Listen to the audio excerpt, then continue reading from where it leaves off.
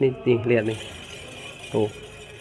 Ini habis ketahuan banget ini kampasnya sampai piringannya kena kayak gini. Yang saya herankan ini katanya gantinya baru banget ya teman-teman ya. Gantinya baru banget baru sebulanan lebih kata dia. Dua bulan belum. Saya bilang wah udah lama kali bang. Belum kata dia.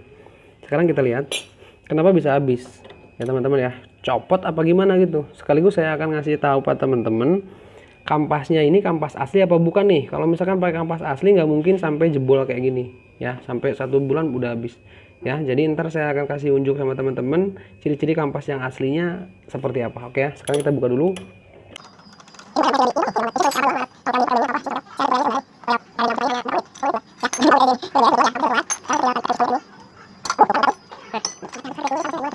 Kampasnya habis habis banget ini. Padahal ini baru lihat. Dari sini kelihatan banget ya dari sini kelihatan ini kampasnya benar-benar baru soalnya belum kotor ya. Sini belum kotor banget nih. Kalau ini kan kena kaliper ini.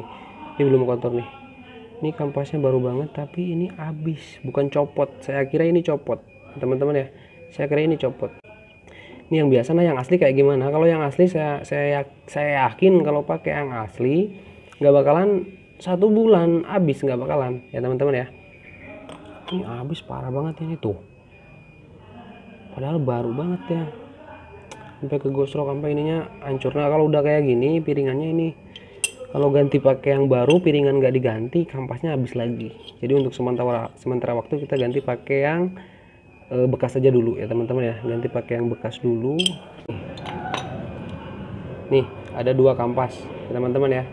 Ada dua kampas tapi kelihatan. Dari bahannya aja ini kelihatan nih. Bahannya udah beda ya dari bahan sini dia udah beda.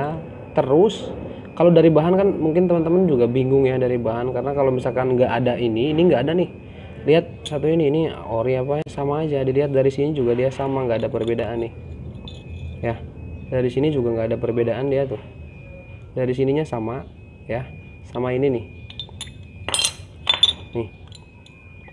Dari sini sama sini sama nggak ada perbedaan. Ini H4 ini H4 juga nih sini. Cuman bedanya nih saya kasih saya kasih tahu ya teman-teman ya.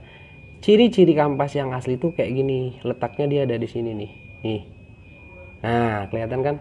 Kalau yang asli yang asli di sini ada tandanya. Ini tuh batas nih. Nih. Set ada gerat kayak gitu. Nah ini tuh batas dia sebagai pembatas. Sekaligus tanda kalau yang asli tuh pasti ada gerat kayak gininya. Ya. Kalau yang biasa kan nggak ada polosan kayak gini tuh. Ya polosan kayak gini ini nggak ada. Kalau yang asli ada geratnya. Terus di kampas belakang pun sama dia ya. Nih ini Supra. Supra MX FU sama kampas belakangnya kayak gini ya. Tapi ini dari Honda. Kampas belakangnya juga sama. Dia ada batasnya nih ya. Ada batas garisnya. Kalau yang biasa nggak ada garis. Kalau yang asli nggak mungkin sampai satu bulan habis nggak mungkin. Cuman dia memang agak keras. Ininya agak keras malah kebanyakan orang kan ininya jadi rusak gitu. Katanya kan ininya bakalan jadi rusak. Karena kalau ya pakai yang asli ininya bahannya keras jadi ngerusak piringan. Kalau pakai yang biasa juga kalau habisnya kebablasan ya kayak gini rusak juga ini. Ya.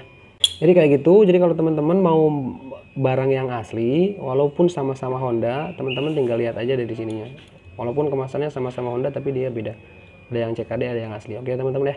Nah itu. Jadi untuk video kali ini saya rasa cukup. Karena hanya itu yang ingin saya sampaikan jika ada salah-salah kata saya minta maaf.